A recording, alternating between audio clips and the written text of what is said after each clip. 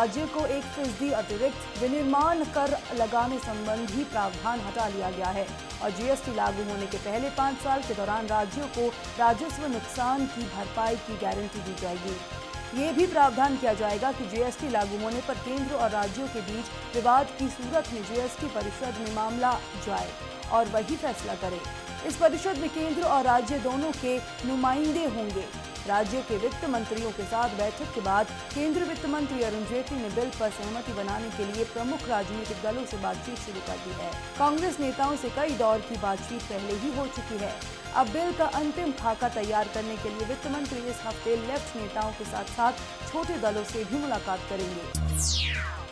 सरकार ने कहा कि इस बिल को तुरंत पास की जाने की आवश्यकता है, क्योंकि हर पब्लिक सर्वेंट को अपनी वार्षिक संपत्तियों और देनदारियों की घोषणा करनी है और इकतीस जुलाई तक ये करना ज़रूरी है। इसलिए इस बिल पास किए जाने की ज़रूरत है। जब कार्मिक मंत्री डॉक्टर जितेंद्र सिंह ने सदन को ये आश्वासन दिया कि सरकार भ्रष्टाचार को रोकने के उद्देश्य से ये बिल ला रही है तो सदन में ध्वनि मत से इस बिल को पास कर दिया गया। सरकार की कोशिश यही है कि राज्यसभा में इस बिल को आज ही पास करवा ले।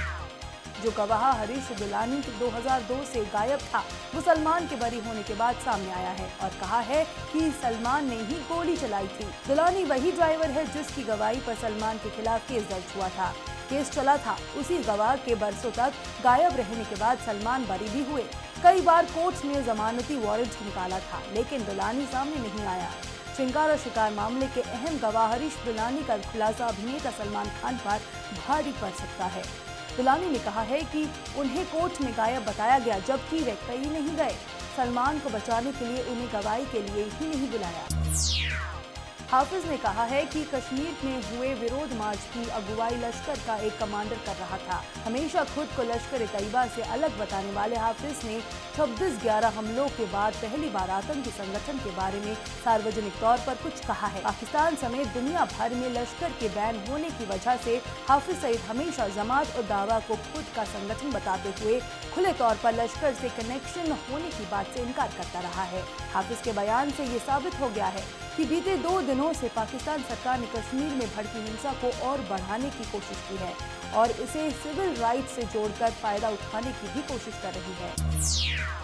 सत्ताधारी आम आदमी के विधायकों पर गिरिराज को पार्टी के नेता केजरीवाल ने साजिश करार दिया। दिल्ली की जनता के नाम संदेश में केजरीवाल ने कहा कि पिछले कुछ दिनों से आम आदमी पार्टी के ऊपर दमन चक्र चलाया जा रहा है। कुचेलने की कोशिश की जा रही है। हमारे दस विधायकों को गिरफ़्तार कर चुके हैं और एक विधायक के घर पर रेड करवाई गई है। इतना ही नहीं, केजरीवाल ने मोदी सरकार पर खुला हमला बोलते हुए कहा है कि हमारे इक्कीस विधायकों को झूठा सच्चा ऑफ़िस ऑफ़ प्रॉफिट कहकर अयोग्य साबित करने की कोशिश कोशिश की है और इन्होंने हमारे एक सांसद को सस्पेंड कर दिया। चुनाव आयोग ने कहा है कि अगर दलों की मदद की ज़रूरत होगी तो इनकी मदद लेंगे। लेकिन फ़िलहाल आयोग ने इन्हें पार्टी बनाने की ज़रूरत नहीं समझी। चुनाव आयोग इस मामले की अगली सुनवाई 10 अगस्त को करेगा। लाभ के पद मामले में आम आदमी पार्टी के 21 विधायक की विधायकी पर तलवार लटकी है। मार्च 2015 में दिल्ली सरकार ने अपने 21 विधायकों को संसदीय सचिव बनाया था। इसके खिलाफ प्रशांत पटेल नाम के शख्स ने राष्ट्रपति के पास याचिका लगाकर आरोप लगाया। कि 21 विधायक लाभ के पद पर है, इसलिए इनकी सदस्यता रद्द होनी चाहिए। राहुल गांधी को 23 अगस्त तक कोर्ट के सामने अपना पक्ष रखना है। दरअसल, राहुल गांधी ने लोकसभा चुनावों के समय अपने एक चुनावी भाषण में आरएसएस को महात्मा गांधी की हत्या के लिए जिम्मेदार ठहराया था और आरएसएस ने उन्हें अदालत में चुनौती दी थी। जानकारों का कहना है कि राहुल गांधी अगर अपने बयान पर कायम रहते हैं और जेल जाने से नहीं डरते हैं तो उन्हें नया राजनीतिक जीवन मिल सकता है। कांग्रेस के नेता भी इशारा कर रहे हैं कि राहुल माफ़ी नहीं मांगेंगे। कल इस मसले पर एमपी विधानसभा के साथ साथ राज्यसभा में भी जमकर हंगामा हुआ। अब मध्य प्रदेश सरकार में गृह मंत्री भूपेंद्र सिंह ने पूरे मामले की जाँच के आदेश दिए हैं। गृह मंत्री भूपेंद्र सिंह ने कल बताया कि मंदसौर में महिलाओं से मिले मांस की रिपोर्ट में बफेलो मीट की पुष्टि हुई है, लेकिन राज्य में उसके भी ले जाने की मनाही है। इसलिए दोनों महिलाओं को जेल भेजा गया है। गृह मंत्री के इस बयान के बाद मामला मायावती ने इस मामले को राज्यसभा में उठाया। और दोषियों पर कड़ी कार्रवाई की मांग की। उन्होंने शादी का झांसा देकर एक लड़की से कथित तौर पर रेप करने वाले एक युवक की चप्पलों से पिटाई कर दी। मामला शिकारपुर गाँव के पास का है। यहाँ एक 25 वर्षीय युवक ने झांसा देकर अपनी प्रेमिका के साथ संबंध बनाने के बाद शादी करने से इनकार कर दिया। इस मामले की जानकारी मिलने के बाद तृप्ति देसाई और उनके संगठन की एक अन्य सदस्य ने आरोपी लड़के की जमकर पिटाई कर दी। घटना के बाद स्थानीय पुलिस ने आरोपी को गिरफ़्तार कर लिया है और उसके खिलाफ मामला दर्ज कर लिया गया है। हाईकोर्ट ने प्राइवेट स्कूलों को पूर्ण विचार याचिका को खारिज कर दिया है। ये वो स्कूल है जो सरकारी ज़मीन पर बने हुए हैं। दिल्ली सरकार के शिक्षा निदेशालय ने कुछ वक्त पहले आदेश दिया था कि बिना विभाग से पहले इजाज़त लिए सरकारी ज़मीन पर बने प्राइवेट स्कूल फ़ीस नहीं पढ़ा सकते हैं। और अगर स्कूल ऐसा करते हैं तो उनके खिलाफ कार्रवाई की जा सकती है। दिल्ली सरकार के इस आदेश को प्राइवेट स्कूलों ने हाई कोर्ट में चुनौती दी थी, जिस पर कोर्ट ने सरकार के पक्ष में फैसला सुनाया था। मामले की सुनवाई अब 24 अगस्त को होगी। सुप्रीम कोर्ट ने साफ़ किया कि अब किसी को अंतरिम राहत नहीं दी जाएगी और केस में अंतिम बहस होगी। पिछली सुनवाई में कोर्ट ने आदेश दिया था कि मामले की अगली सुनवाई के दिन एक भी शिक्षा मित्र कोर्ट में नहीं आना चाहिए। यदि एक भी शिक्षा मित्र कोर्ट में घुसा तो मामले की सुनवाई नहीं की जाएगी। कोर्ट ने ये चेतावनी सुनवाई के दिन शिक्षा मित्रों की कोर्ट में होने वाली भीड़ को देखते हुए दी थी। इनमें पंजाब नेशनल बैंक और HDFC बैंक भी शामिल है। इसके अलावा एसबीआई और आईसीआईसीआई बैंक सहित आठ अन्य को इन दिशा निर्देशों का कड़ाई से पालन करने को कहा गया है। सार्वजनिक क्षेत्र के एक बैंक से मिली जानकारी के आधार पर रिज़र्व बैंक ने अक्टूबर नवंबर 2015 में 21 बैंकों में धन बाहर भेजने की जाँच की थी।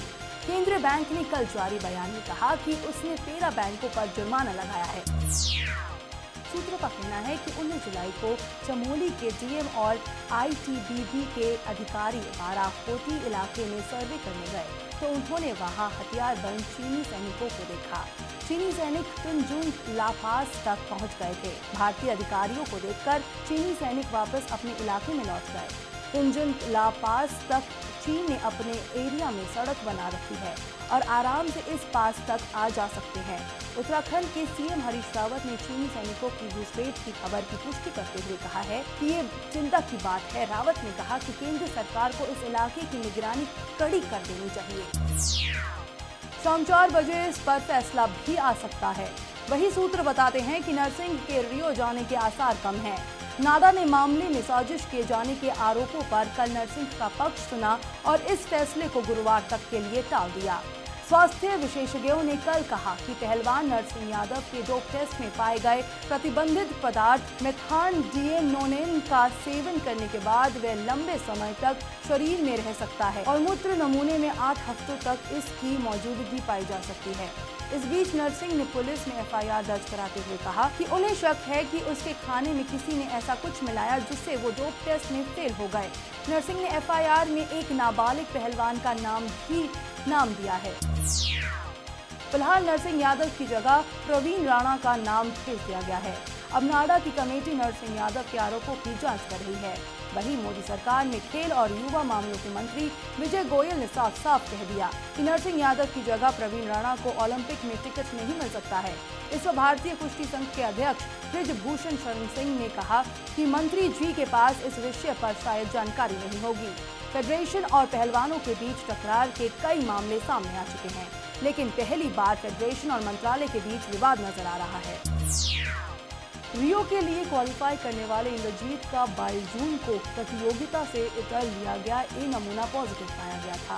उन्हें नाडा ने कहा कि उनके बी नमूने की सात दिन के अंदर जाँच की जाएगी और उसमें नाकाम रहने पर उनका डोप में असफल होने की पुष्टि हो जाएगी।